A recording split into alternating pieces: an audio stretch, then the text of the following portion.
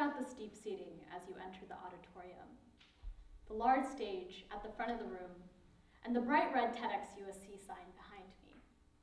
Now go ahead and open your eyes. Imagine this is your new reality. What you see right now is what over 41 million people experiencing severe visual impairment around the world see when they open their eyes near or absolute darkness. The summer before college, I had the opportunity to visit the Blind People's Association in Gujarat, India. I remember walking through pitch black darkness in a blindness simulation called Vision in the Dark. For nearly half an hour, I was led by the hand and voice of a man experiencing blindness into a dark maze. But before even the first minute had passed, it's safe to say I was scared out of my mind, as most of you probably are now. For the first time, I tried opening my eyes, I still couldn't see. He stopped me, held my hand, and asked, What does it feel like to be blind? In the simplest of terms, a loss of vision puts the world into perspective. My name is Manushri Desai. I'm a 22-year-old Indian American woman with long black hair. I'm wearing a black button-down shirt with gray slacks and standing at the front of the auditorium on a bright red carpet. I'm here to share with you how a man experiencing blindness in fact gave me vision and what I did with my newfound sight. Now, when I visited the Blind People's Association, I was both in shock and in awe. Walking through tall, ironclad gates, I entered what seemed like a rather close-knit community. The plot of land had a primary school on the right and a workplace on the left where adults with disabilities worked as physical therapists, yoga instructors, and even managers. Despite how physically closed off the community seemed, the persons with disabilities at the BPA thrived off of an unfathomable energy of solidarity. In India, the way that many people perceived ability in 2018 reflected the recency of the rights movement disability was still perceived to be inconvenient to a person and their family, while ability was commonly construed to be the opposite and thus desirable. This resulted in the lack of a disability-inclusive society in India and hence the BPA's physical isolation. However, the empathy and the social consciousness of the community inside gave me hope that this sentiment would one day permeate those tall ironclad gates. A shift to a disability-inclusive society while difficult to achieve, was not impossible. Sash, one of the kids experiencing blindness, ran up to me, took my hand, and led me into a classroom where he and his classmates were reading from Braille books. He eagerly said, Didi, Didi, meaning sister, sister, let me read you a story about Disneyland. He sat down on the bench, opened his Braille book, and began reading to me. He was so eager and content to learn. He didn't think of his lack of vision as a barrier, rather it was his superpower. The BPA created a space where disability identity could be cultivated, a safe space where people could gather and find community. It was at this moment that I realized I had always been looking, but for the first time, I saw. I saw with empathy and compassion and care. I saw these kids holding each other's hands, playing tag, and singing religious hymns. Their normalcy with what we distinguish as a disability was refreshing, and it was a perspective I was determined to introduce to everyone I met. Disability rights should be everyone's concern. Later that day, Mr. Bhushan Punani, Executive Director of the BPA, greeted me with excitement and began to inform me about the organization. We talked for hours, and when I mentioned my intersectional passion for medicine and policy, his eyes lit up. He informed me of an ongoing Indian Supreme Court case in which the Medical Council of India was denying a 17-year-old petitioner, Purswani Asutosh, access to medical education simply based on his visual impairment. Mr. Punani requested me to help collect any documented evidence I could find before the final Supreme Court hearing in just 48 in what seemed like a race against time to help build a stronger case for Purswani Asutosh, I felt charged by the research and resources at my disposal. I immediately saw an opportunity to foster change, and after visiting the BPA, my empathy gave me a reason to do so.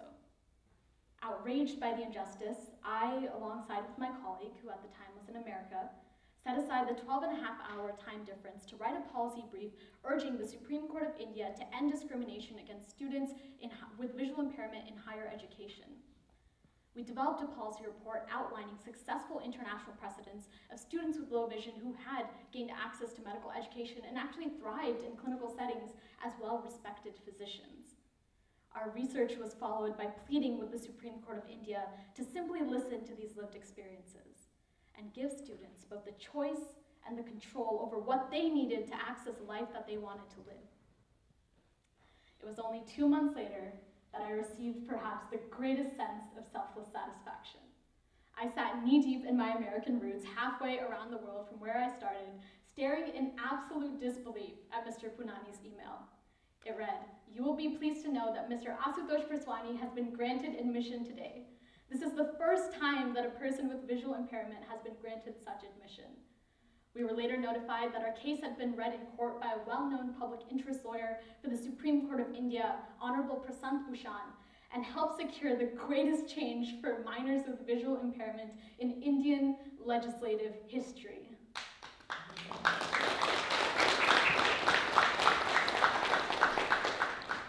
Just a few weeks later, I started college as a freshman at USC. I was eager to capitalize on the positive momentum of the change that I had just experienced and the new perspective that I had gained. Recognizing that Purswani Asutosh's case was far from uncommon, I began to internalize the mantra that being disabled should not mean being disqualified from having access to any part of life. So now, when I was walking to and from class, I began to pick up on inaccessible and inequitable spaces in my immediate environment. For example, the most popular coffee shop on campus, Dulce, has a ramp, but it's hidden to the side of the building, leading to an unautomated door. Or our social sciences building, a popular classroom and meeting space on campus, has no signage for wheelchair accessibility and only two ramps leading down to the entrance of the building. This really got me thinking. As a student, how can I create a demand for inclusion? Right as I was getting acquainted with campus, Mr. Punani from the BPA introduced me to Mr. Pranav Desai, founder of Voice of Specially Abled People, a global advocacy organization for rights of persons with disabilities based in Los Angeles, California. One of VOSAP's flagship initiatives at the time was a public utility mobile app that allowed users to crowdsource data on the accessibility of buildings. The intention of this feature was to create a database of both building images and accessibility ratings so that persons with disabilities could search using the same app to find accessible spaces in their day-to-day -day lives leading nearly 60 Trojans across campus, my colleague and I compiled ratings for over 90 buildings and public entrances and started mapping out all of USC for its physical accessibility. It was at this point that I really started to see the potential to create a more inclusive campus culture. My hope was that for students with disabilities, as they acquire or explore their disability identity, to feel as though they were deeply connected to a rich and diverse movement, to know that they had a culture, that they had rights. Driven by the desire to make these rights everyone's concern, I was humbled by the opportunity to be invited at the 12th session of the Convention on Rights of Persons with Disabilities in 2019. At the United Nations headquarters in New York, my colleague and I spoke as the youngest speakers at the conference amongst 178 state parties. There, we urged both leaders and volunteers alike to recognize that disability could not be achieved without equity also being part of that equation. We stressed that working in a coalition, whether that be through building a global accessibility database or creating solidarity in the cultural conversation, would be instrumental in advancing the rights movement. I returned to USC with a fervor to continue my work for disability activism. I began to notice that while more visible social identities such as race, ethnicity, and gender were often prioritized and represented in higher education, mixed and non-visible social identities such as disability were still not foregrounded. However, I saw power in shared frames and wanted to create a space where we could collectively leverage parallels across these justice movements. This resulted in the start of the VOSAP Collegiate Network, which brought together both students with disabilities and allies to create demand for inclusion. However, soon after my colleague and I started the network, we were met with the shift to a remote working environment with the onset of COVID-19. we were presented with the challenge of still having to mobilize these students to create that demand for inclusion while not physically on campus. In response, we created a robust research curriculum and led for two summers a disability research internship that supported student-led scalable projects related to disability justice. Working with over 50 undergrad and graduate students across 20 projects, we created a disability internship that supported topics ranging from employment to technology to healthcare. It was at this moment that I really started to see that shared sense of solidarity. Many of the students, like myself, were allies of the disability justice movement, yet were equally as passionate about making disability rights everyone's concern. For my work with VOSAP, I was invited to speak at the UN Commission on Social Development for Affordable Housing and Social Protection Systems for Persons with Disabilities, and most recently at the UN Commission on the Status of Women for the inclusion of women with disabilities in climate change and disaster risk reduction dialogue. Much like many of these internship projects, which spanned from understanding disability in everything from employment to technology to healthcare, speaking on these platforms reminded me that there is a disability angle to almost any progressive issue that affects our own day-to-day -day lives. Thus, the nuance of the collegiate internship, the network, and speaking on these platforms was this budding hope inside me that every student, ally, leader, and stakeholder would walk away wanting to foreground disability in their respective future endeavors. Disability rights are civil rights, are basic human rights. Many of us have either experienced living with a disability, will at some point in our lives, or know someone who has. We must show care and compassion and do the right thing when barriers are identified. We must support those derailed by barriers. It takes courage to listen, to identify challenges, and to work with affected individuals to take the necessary steps to make things right. But that's the responsibility of each and every one of us. Accessibility starts with me. Am I doing enough?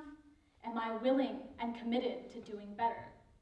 And it can be done in the simplest of ways, whether that's offering a visual description of yourself before speaking in front of an audience, not flattening someone's identity to their disability, or even foregrounding disability in your own lives and careers to proactively build those more inclusive and accessible spaces.